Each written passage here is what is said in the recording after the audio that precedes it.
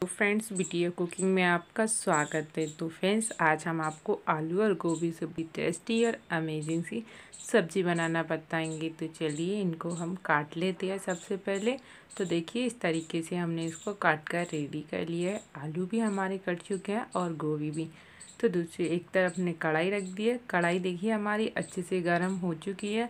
उसमें हम ऑयल डाल देते हैं और ऑयल को हम अच्छे से गर्म होने देते हैं। तो देखिए ऑयल हमारा अच्छे से गर्म हो चुका है तो इसमें हम जीरा ऐड कर रहे हैं। जीरे को अच्छे से तड़क देने के बाद में हम इसमें डालेंगे हरी मिर्ची, प्याज और लहसुन।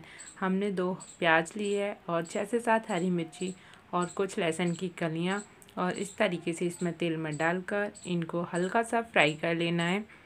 और इनका हल्का सा हल्का सा कलर कलर आने तक, ब्राउन कलर होने तक इसको इसी तरीके से हम लो टू मीडियम फ्लेम पर अच्छे से फ्राई करेंगे।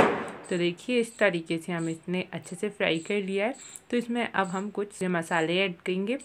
तो देखिए, इसमें हमने लिए हैं, हमने मसाले ले लिए हैं। ये देख सकते हैं आप, एक चम्मच लाल मिर्च पाउडर, एक चम्मच नमक, एक चम्मच धनिया पाउडर और हल्दी थोड़ी सी, आधा चम्मच से भी कम और नमक अपने टेस्ट के अकॉर्डिंग डालें आप। हमने एक चम्मच डाला है और एक मिनट तक हम इसको इसी तरीके से तेल में फ्राई करेंगे और उसके बाद थोड़ा सा पानी डालकर इसको अच्छे से पकने देंगे मसाले को। तो हमें मसाला जब तक पकाना है, जब तक इसके ऊपर इस तरीके का तेल ना दिखने लगे। तो देखिए, दो से तीन मिनट के बाद हमारा मसाला इस तरीके का हो चुका है। तो हमारा मसाला अच्छे से हो चुका है तो इसमें हम डालेंगे अब कटा हुआ एक टमाटर। एकदम पका हुआ टमाटर डालना है, कच्चा टमाटर बिल्कुल मत डालना। पका डालेंगे तो बहुत ही टेस्टी और अमेजिंग सा टेस्ट आएगा। और अब इसको टमाटर को अच्छे से गलने तक हम इसी तरीके से इसमें हम पकने देंगे। इसको भी हम दो से तीन मिनट तक इसी तरीके से पका लेंगे। तो दो से तीन मिनट के बाद आप देख लेंगे ना इसके टमाटर अच्छे से गल जाएँगे। तो देखिए, इस तरीके से चलाते हुए इसे भी लो टू मीडियम फ्लेम पर ही हमें पकाना है। तो देखिए, इस तरीके से हमारे ये टमाटर भी अच्छे से गल जाएँगे। तो दो से तीन मिनट के बाद आप इनको देखना तो बहुत ही सॉफ्ट एंड स्मूथ हो जाएँगे टमाटर। तो ये हमारे टमाटर अच्छे से पक चुके हैं। तो अब हम इसमें हमारी जो कटी हुई सब्ज़ी थी, वो ऐड कर देते हैं। तो देखिए, इस तरीके से हमने ये सारी सब्ज़ी को इसमें ऐड कर दिया है। और इसको अच्छे से चलाते हुए मिक्स कर देना है। और लो टू मीडियम फ्लेम पर इसी तरीके से हम इसको पकाएँगे। हाई फ्लेम हमें बिल्कुल भी नहीं करना है। लो टू मीडियम फ्लेम पर ही हमें सारी सब्ज़ी बनाकर रेडी कर लेना है।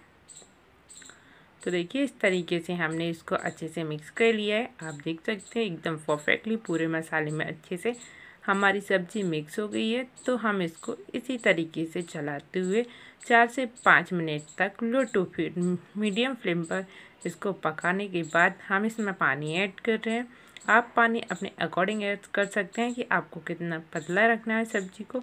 तो हम इसको कुछ इस तरीके की सब्ज़ी रखेंगे, हल्की सी गीली और एकदम सूखी सूखी भी नहीं, आराम से।